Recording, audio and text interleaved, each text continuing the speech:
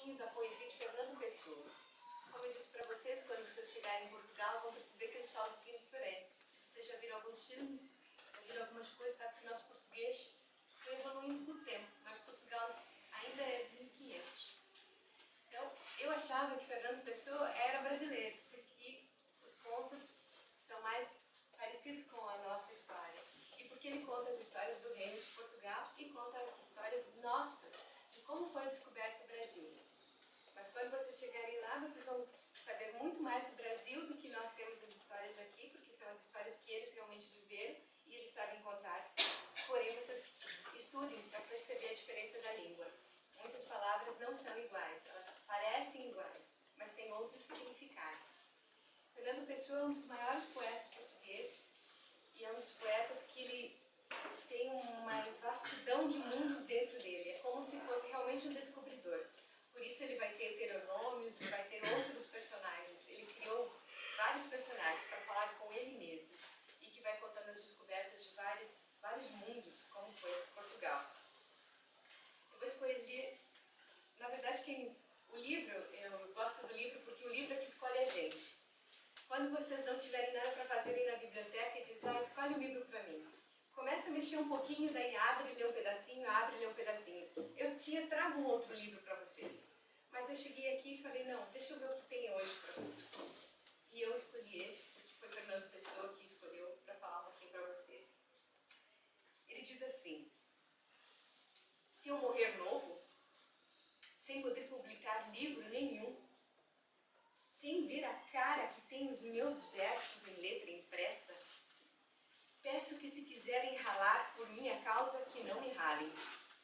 Se assim aconteceu, assim está certo.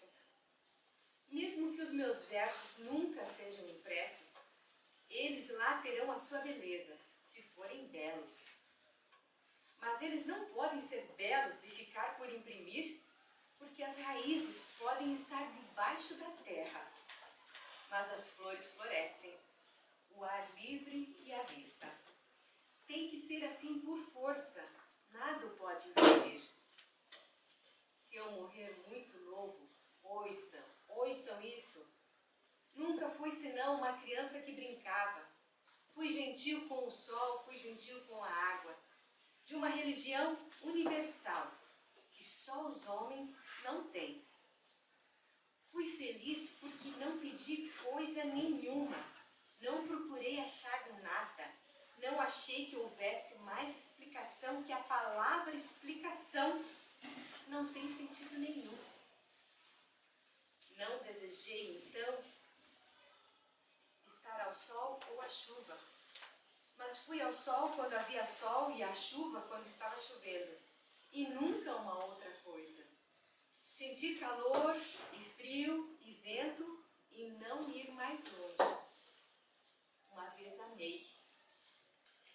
Julguei que me amariam, mas não fui amado. Não fui amado pela única grande razão, porque não tinha que ser. Consolei-me, voltando ao sol e à chuva, e sentando-me outra vez à porta de casa, os campos, afinal, não são tão verdes para os que não são tão amados, como para os que o são. Mas sentir é estar distraído. Esse é um poema que ele publicou em 1915.